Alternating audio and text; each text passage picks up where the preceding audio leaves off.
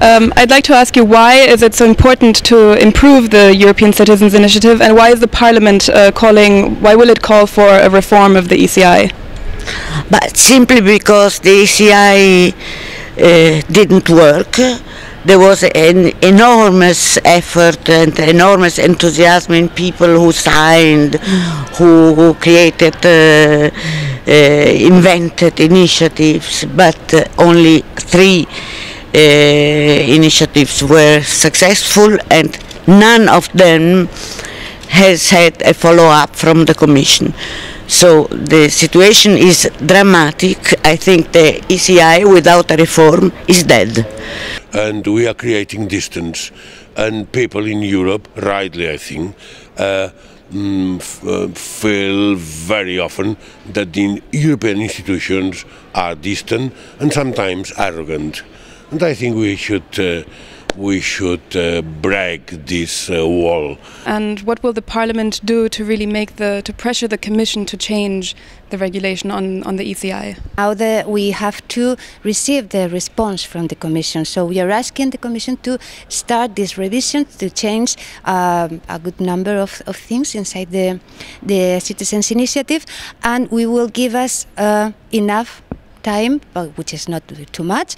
I, I will say that in the coming six months, we will be following up that, very especially from the, uh, the Petitions Committee. Uh, this will not be the last step in the ECI reform because we need a change in the regulation. Yes. And this can only be uh, tabled by the Commission. Uh, what will you do to pressure the Commission to do this? Now, first of all, I've brought in amendments for a change of regulation because that was not clear. We were talking about for a long time about improvements, but not clear, uh, didn't uh, call clearly for change of the regulation. That's in the text now. So this is a helpful addition uh, these 76,000 signatures. So I think the Commission is ready to move. It's just a question occasionally of helping them to move in the right direction, which I hope will be ready next year sometime. Well, the Parliament has today uh, made an important step towards the demands of the citizens, but unfortunately, some of the further reaching reforms were not adopted.